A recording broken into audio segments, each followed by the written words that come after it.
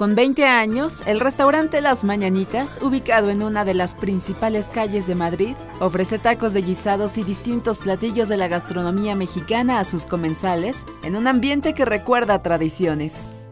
De carnitas, de cochinita pibil, de mole poblano, los clásicos campechanos, de pastor, de bistec o de alambre. Los madrileños, mexicanos nostálgicos y todo aquel que acuda a este restaurante puede sentirse en México.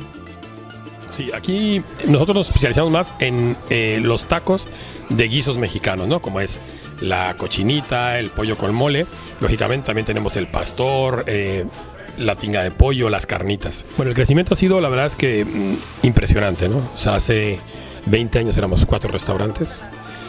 Hoy en día en Madrid solamente hay 120 y creo que otros 100 en Barcelona.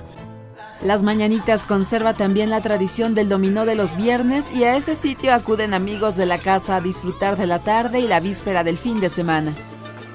Con información e imágenes de Adela Maxwini, corresponsal en España, Notimex.